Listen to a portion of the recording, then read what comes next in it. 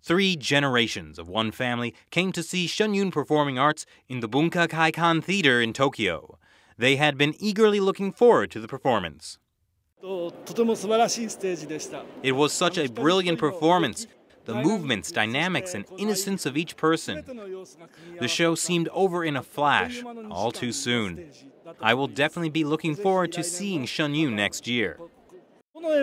Rather than saying which program I like the most, the way of thinking, the thought, those things touched me.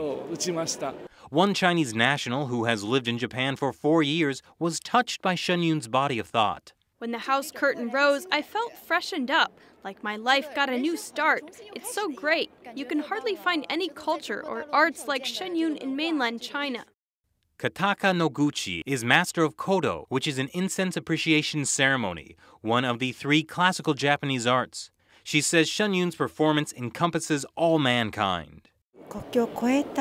It's crossing the border. I feel like it's encompassing all of mankind. Shen Yun has completed its season in Tokyo and Nishinomiya and will perform in Fukuoka on May 1st. NTD News, Tokyo, Japan.